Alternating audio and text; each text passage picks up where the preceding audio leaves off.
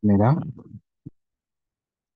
today I'm going to be doing companies, and this is um, just paper two. I will start by discussing everything about the Companies Act.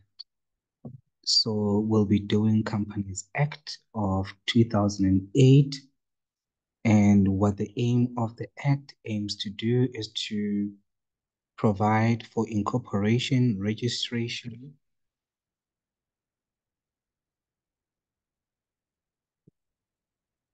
organization, and management of companies, how a company shall be managed, organized, registered, or started. And it defines the relationship between the company and their respective shareholders or members of directors. And the question that I love asking my student is to my students is to tell me what the difference is between a shareholder and a director. A shareholder bought shares in a company, ultimately providing capital to the company. And they appoint directors to be the arms, the ears, the hands, the mouth for the company, and the brains for the company. Note that a company is legally, it is a separate person from the shareholder.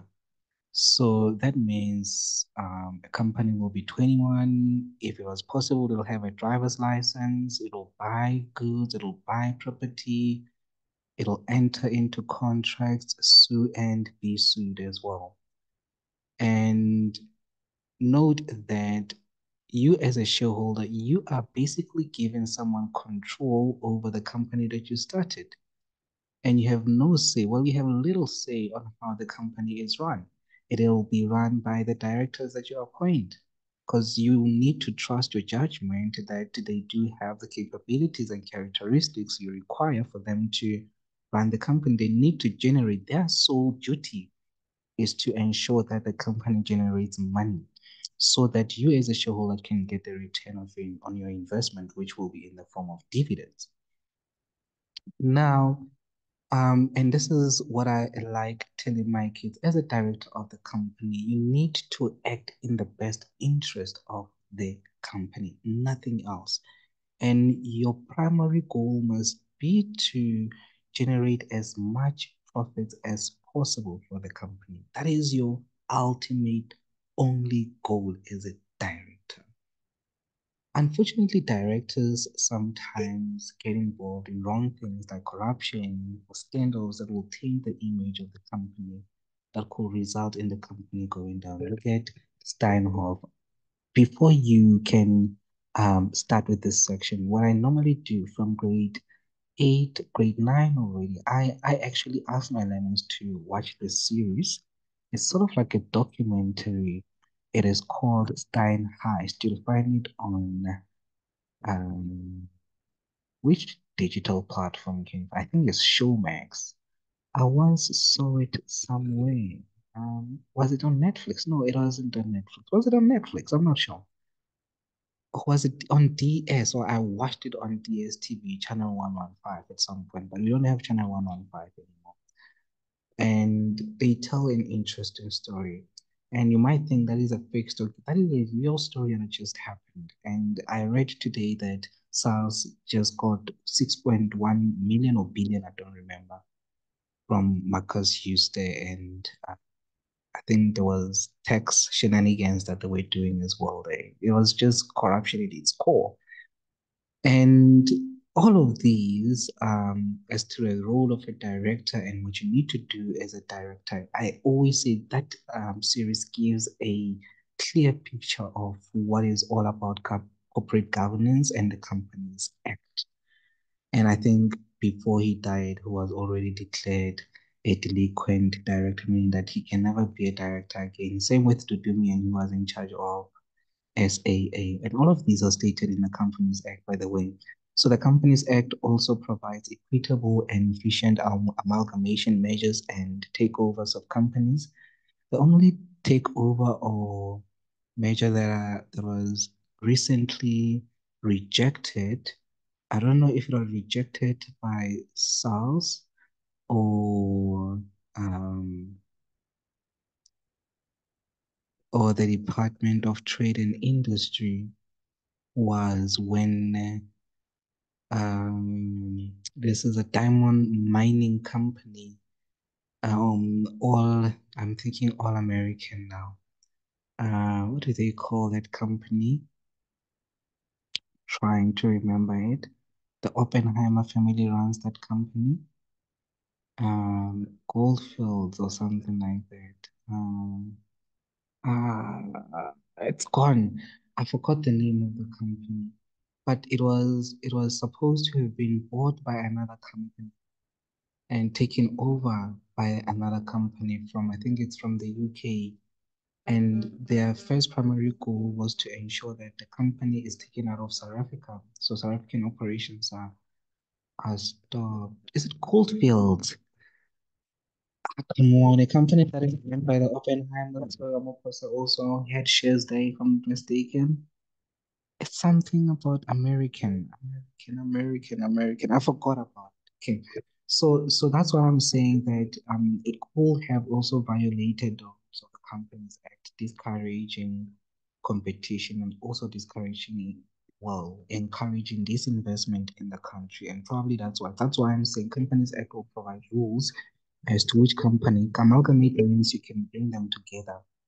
Um, I'm trying to think of any company that was amalgamated. I know Absa was amalgamated. I think that's why it's called Absa Amalgamated Bank of South Africa. It was a bank between United, was it United Bank? And I don't remember which other bank, um, because I was still young. It was around, um, well, around 14, United Bank. That is 2001. Um, 2001, was it 2001? Yeah, yeah, it's 2001. I was in grade eight. I think um we we were banking. We me and my mom were banking with United Bank, but I don't remember when it was, or was I younger when we still had United Bank? I don't remember, but it was amalgamated with another bank to form Absa Bank. So Absa Bank is a combination of different banks that were amalgamated, brought together, and they became one. Okay. Um, sometimes a takeover can be a hostile takeover because the company is going down and it's it's about to be liquidated. Um, there was a company like that in South Africa. Um, I think it's SAA, if I'm not mistaken, right? Yeah. Um, when I tell my kids about these stories, they think I'm deviating from accounting, but they're very, very important. I'm just summarizing um, the Companies Act notes, and ultimately, when this comes in out in and they're like, "Yeah, but sir, we didn't do it," and I'm like, "No, we did it. It's just that I was explaining it using real examples." Um, and um, yeah, this is um, you can tell that I'm just taking examples, real life examples, and I'm giving you examples of why it's important to have the Companies Act. It also provides appropriate legal remedies and redress for investors and third parties with respect to companies. Um, I know there are companies that were sued due to violating environmental laws, like VW. I think it was sued and it had to pay millions of penalties in America. And I think Sasol as well that claims that it can be sued. I'm not sure about that. And apologies if that one I'm not sure. I can't guarantee that. But I know about uh, VW with the emission scandal. Um, and recently, though, there has been banks have been under attack by charging black customers more interest and refusing to give them loans. Um, yeah, I don't know where that ended up, and and I don't know how how Companies Act uh, took appropriate legal redress for investors and third parties in this case. Okay. Um, another one is when the Steinhoff went down because of Markus Jooste was involved in corruption scandals and so on. The the investors like the the, the owner, uh, the shareholder of Shoprite, the guy that founded Shoprite, um, Christopher Wiese, or I don't know how to pronounce his surname. They they wanted their money back and they were trying to sue uh, Markus Jooste. Unfortunately, he passed away. So basically, it also allows you, because you know what the duties of a director are, if they don't abide by those duties, a Companies Act, guided by the Companies Act, you can take legal actions and actually do whatever it takes to get your money back. It establishes, it helps you, or the aim is to um, establish companies, intellectual property commission. It's CIPRO. It's where you, if you want to register your company, you go to that website. I heard that it's for free now. You just register online. And the takeover regulation panel to administer the requirements of the Companies Act with respect to companies, etc. Let's continue. So categories of companies that we've got, we've got two types of companies that can be formed and incorporated under the Companies Act. It could be a profit company and a non-profit company or NG, I mean NPO. And with a profit company, a company is incorporated with the sole purpose for financial gain to its shareholders. A non-profit company is incorporated for a public benefit like schools, and benefit income and property of which is not distributable to its incorporators, members, directors, or officers.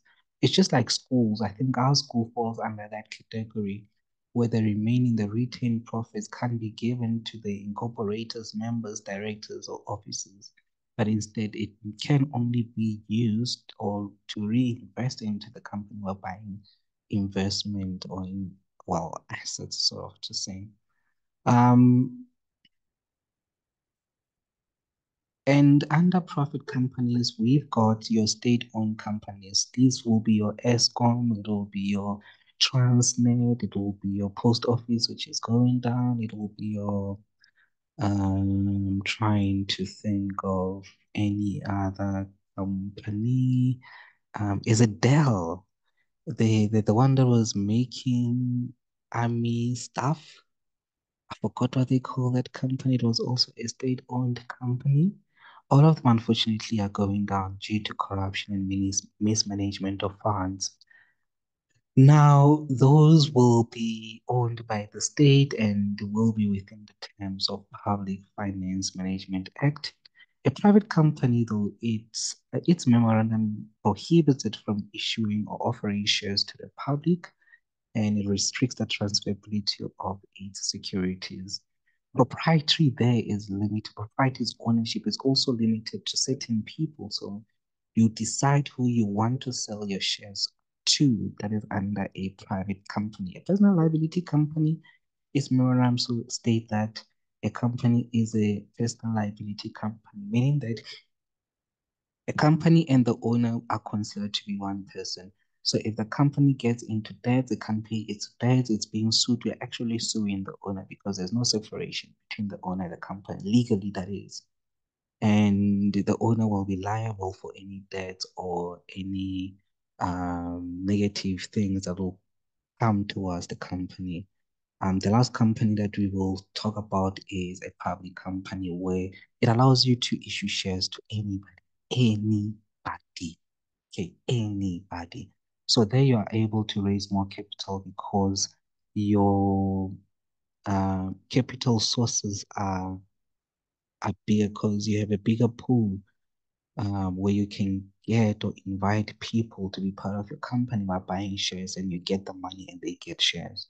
Whilst with a private company, it's a bit smaller, it restricts you to a limited number of people. That is the only disadvantage between a public company and a private company in most cases. So um, expansion under a private company is restricted. And I need to state this, guys, when they say a company is a public company, it does not mean that it is owned by the state. It means that the transferability of shares, it can sell its shares to anybody and a lot of people. Therefore, they will need to raise more capital if there's a need. You got it? We good? Let's go. What's the difference between a public company and a private company? As I said, with a public company, its name ends with um, limited. Limited means the liabilities of the company are limited to the company. So whatever debts the company has entered into, um, to get your money back, you'll just sell the assets of the company. The shareholders are unaffected. And um, so that's why they call it limited public company limited. Private company, though, um, obviously it's also limited, but proprietary ownership is also limited. So it means that by that it means that you can choose who you want to be a shareholder and whatever the company suffers, suffers, can be sued or whatever. It it can only affect the company, it doesn't really affect its founders or shareholders. Now, when it comes to the transferability of shares, a public company can easily transfer its shares or sell its shares to the public, whilst under a private company, it is limited. So the transfer of shares or securities is limited. It cannot issue shares to the public. It can only select who it wants to be a shareholder now, the name I've also discussed it under a public company. We have limited private company, is proprietors limited, PTY Ltd. When it comes to the board, the directors and prescribed officers, at least one direct, three directors are required under a public company. At least means it's three and more. And under a private company, we just need one or more directors. When it comes to audit requirements, I know that a public company must just be audited to protect. People don't understand that there is to protect the company. Audit is required to protect the company to ensure that the person that is the eyes, the ears, the brains of the company doesn't take the company for granted. Okay. So we need financial statements to be audited. So all public companies must be audited. It is compulsory for them to be audited. When it comes to a private company, it needs to meet a certain public school. Okay. Um, I forgot what it was, guys. I did my third year a while back. Um, we normally do this under auditing.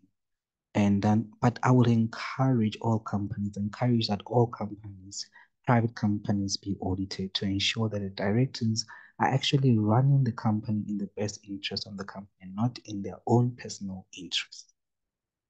Okay, um, I have to go for now. Next time I'll be talking about the formation and administration of companies and we'll talk about the criteria for names of companies. For now, all I can say is also please check out the next video for more.